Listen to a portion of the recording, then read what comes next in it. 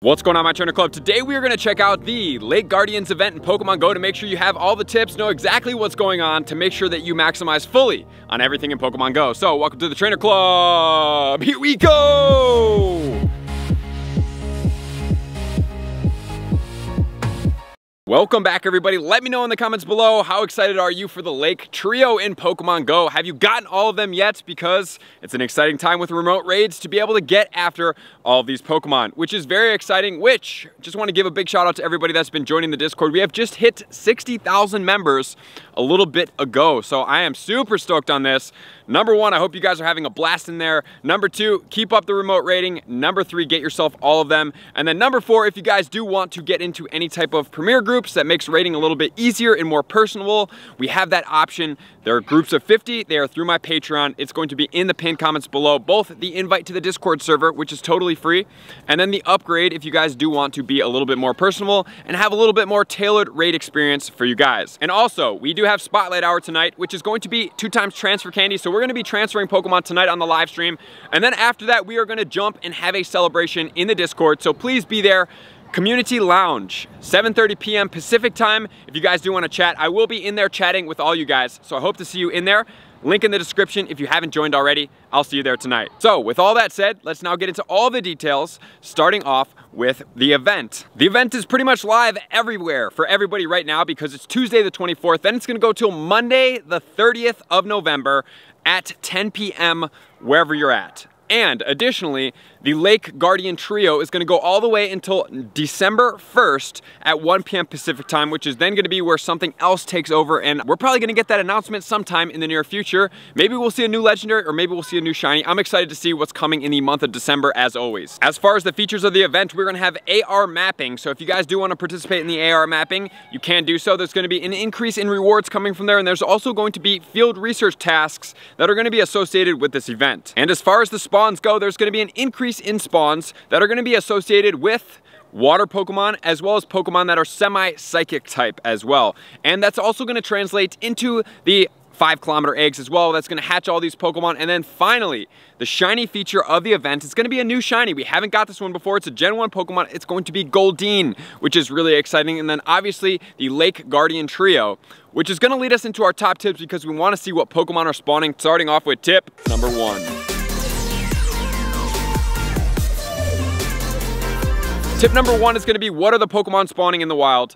Which ones are going to be the shinies? Should we focus on any of them? Are any of them going to be related to the Go Battle League and then the meta raid attackers as well? So, Pokemon number one, we have Psyduck.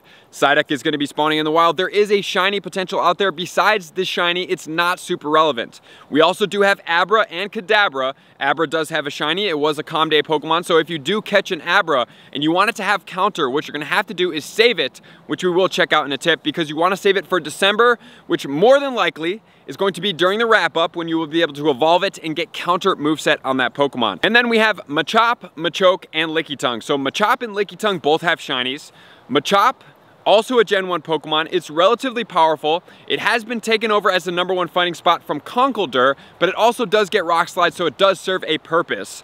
This Pokemon as the Machoke is also going to get you more candy, and it does have a shiny, and it will get rarer and rarer. And then Lickitung, obviously, not a very common Pokemon, at least for me, and most places that I've traveled, I haven't seen it very often. So if there's Lickitung out there, you haven't got the shiny, that's something you're gonna want. However, the move that it was getting from the three hour raid window is not gonna be available, and it's also not gonna be available during the Com Day because it wasn't a Com Day Pokemon, it was a raid day Pokemon. So maybe in this case scenario, you might wanna hold this Pokemon if you want to get it into Lickilicky, or you're gonna have to use an Elite TM. And then we have Goldeen, Magikarp, and Ralts. All of them have shinies. Goldeen is gonna be the new one. Magikarp does have Aqua Tail from Com Day, so if you do get a good one, save that one for December. And then we have Ralts.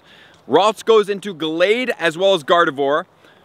Unfortunately, Gardevoir, which we'll check out in a second for the Go Battle League, is better, much better, because it gets Charm in the shadow form. Gallade is the only one that's really gonna perform, but it's also a top fairy type Pokemon, but this Pokemon also gets Synchronoise, so you're gonna wanna save this Pokemon for December Com Day. And then we get Surskit, Starly, and Bidoof. None of them have shinies, none of them are super relevant, and then we're gonna have the Shellos that are spawning more often as well. Which is then gonna lead us into the Go Battle League. Which Pokemon are gonna stack up in which leagues, and which ones should we look out for, and what are gonna be the IVs to find?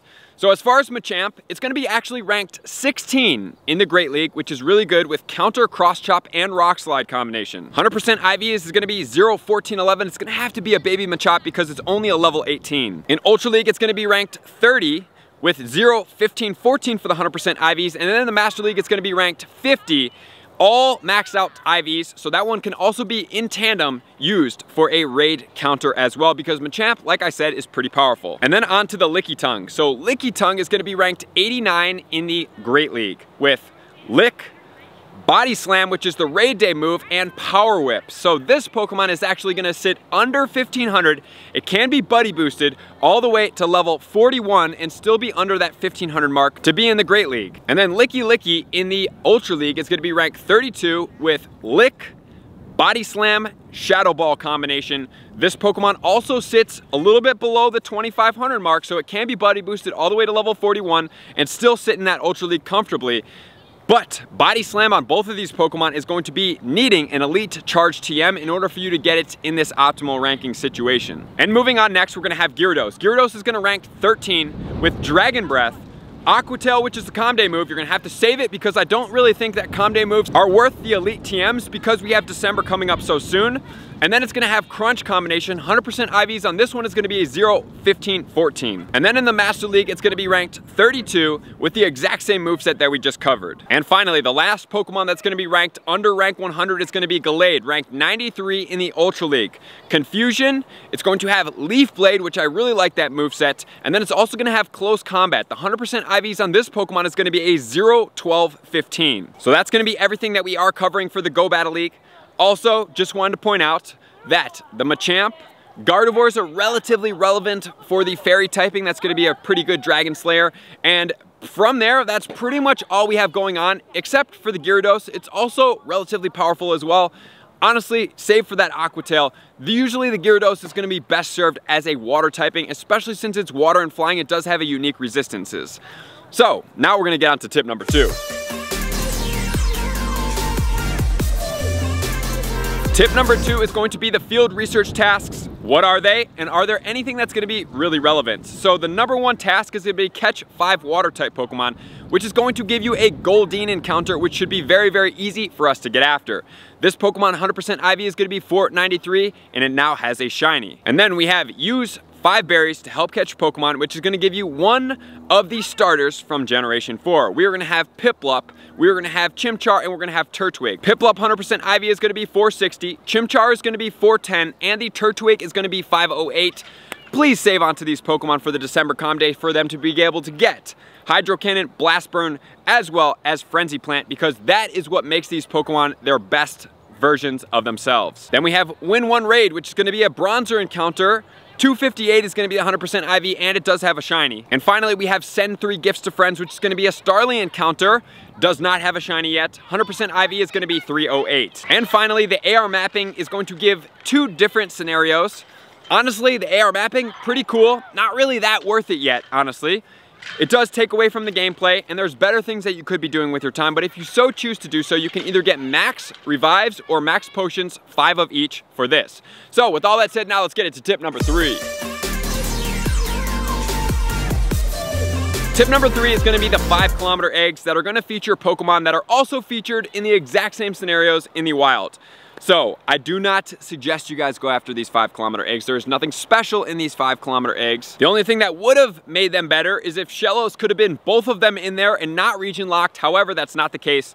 Shellos is still gonna be region locked. The one thing about Shellos though, even though it's semi-common, especially when it starts to rain, is that at some point, when the world resumes, which may not be so relevant right now, but for a Go Fest in the future, I just want to put this idea in your mind. I have talked about it.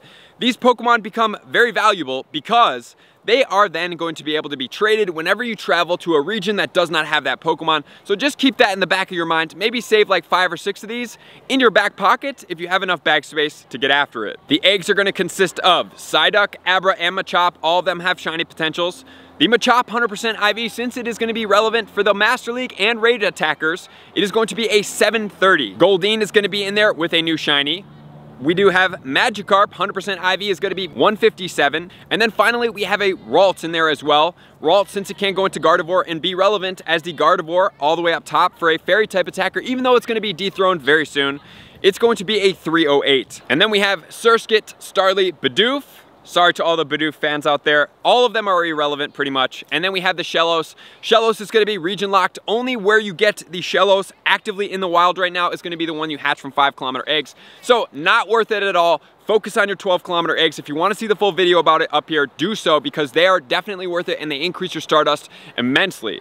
So, now what do we wanna do? We wanna do the Lake Guardian Trios. You need to remote raid for these guys. You can get them anywhere in the world now from the comfort of your home or from the comfort of wherever you choose to play because of the remote raiding. So please get in my Discord, choose a tier if you want to get to upgrade it and have a more personable experience or just make sure to raid there. And you can also go into the global friendship hall to make sure to add trainers from all across the globe. Make sure to post your friend code in there as well. So that's gonna do it guys. Thank you for being here. Likers comments subscribers patreon members everybody takes your support subscription and participation to the next level. I'm gonna see you guys out on the next video. Peace I want to take this time to thank everybody who supports me in every facet. It means the world to me and an extra special thank you to all my Patreons. I greatly appreciate the extra support to continue to allow me to pursue Pokemon Go full time, allowing me to create my daily video uploads in the most timely fashion for everyone's benefit.